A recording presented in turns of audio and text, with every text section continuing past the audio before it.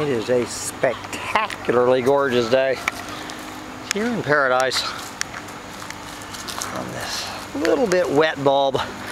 So I'm thinking about, since I've had about enough of surfing the net, I have come all the way to San, San Ignacio Belize here on this glorious, it is a Thursday, February 16th, 2023. I'm thinking about going down and maybe renting a canoe or going swimming or something. So I am uh, going to check out the lovely banks of the shady, I guess this is the Belize River or a tributary of it. So uh, I see this gentleman has been hacking the, he has spent his hot day hacking the elephant ears out of the way, those pesky elephant ears so he can uncover the natural beauty since we don't have to look at those ugly old elephant ears anymore.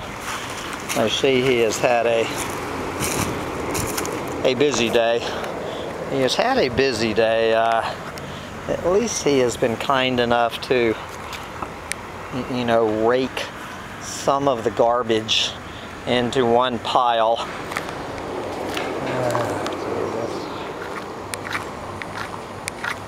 Uh, boy.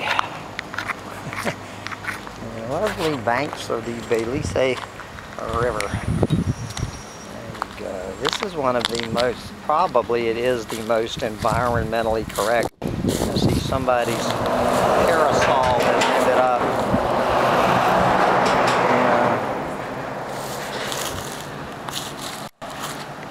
in the banks of the river.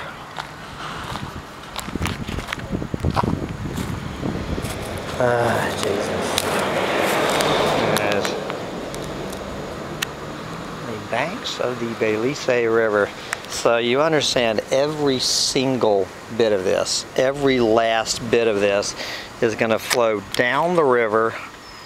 It's going to flow down the river and will end up in, uh, well, I guess it'll end up in Belize City. Every one of these fucking things Arizona iced tea cans, styrofoam cups is heading directly into the Caribbean Sea where it's going to be headed. Oh, God. There you go.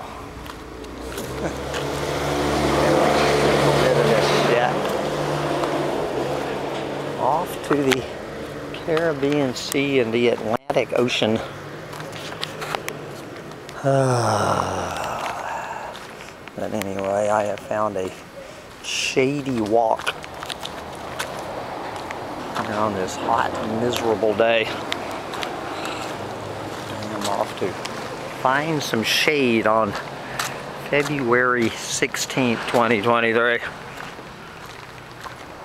Oh, man I highly advise you to get out there and find some shade while you still can.